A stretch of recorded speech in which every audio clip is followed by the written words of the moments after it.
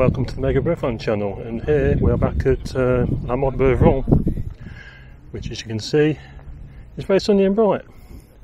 But uh, yeah we were here last year. This year uh, seems to be a bit different because uh, they've moved uh, car parks. So I had to go all the way around the other side and which meant I couldn't actually film any vehicles coming into the event. But uh, you know that's that's how it is. I'll just move my camera so we can see some nicer cars. There we go. So here we are, and we've come prepared this time because last year we got a bit heat stroked. It was very hot. Today is about 24, slight breeze, but we've come with everything we need this time. And this is the 100th video. So, yeah, big celebration. Whoopee, 100th video. Who would have thought it? So, hopefully, uh, I'll take a few pictures for you and then a little bit of video. So see you soon.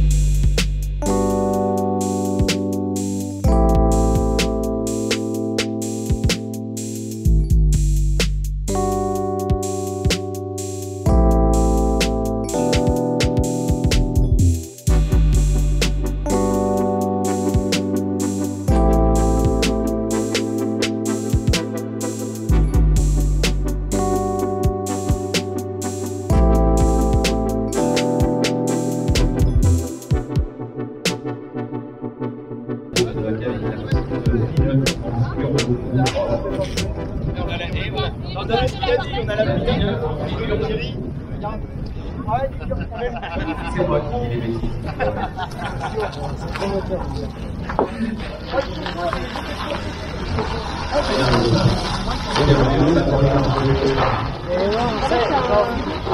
en fait, c'est toute une colonie de vacances. Il y en a autant à l'intérieur.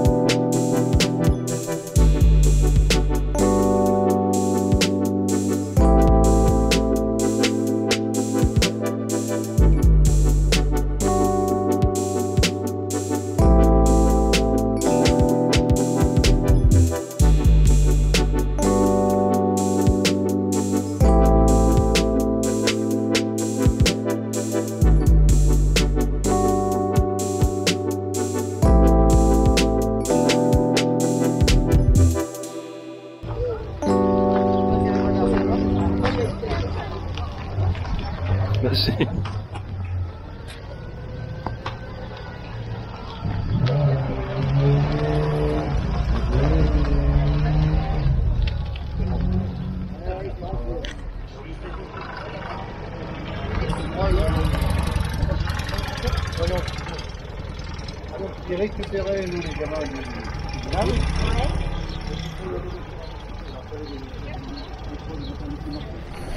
So I hope you enjoyed the uh, the pictures and bits of video. Not sure I'm going to put it together like last year. It's just a case of uh, messing about with the clips, really. So what's the verdict on this event this year compared to last year? Well, um, probably haven't got as far to walk to the car. The car park's in a completely different place. But I think there was a lack of being able to film vehicles uh, moving about. I mean, I know to take a few, but that was really it. I mean, there wasn't much in the way of animation. Um, it's probably just as busy as last year, but it is small, a smaller event because there was twice as many vehicles, I think, before. Uh, basically, where the car park is now, I think. So, well, it was worth coming, and I hope you enjoyed what I managed to put together for you. So, we're going to head off home now because we're suffering again. Um, we knew what to expect this year, so I suppose it's not so bad. But uh, we're still a bit hot, and uh, despite the silly hat, I'm sweating profusely. So, anyway, thank you very much for watching. Hope to catch you in another video. Take care of yourselves. Bye.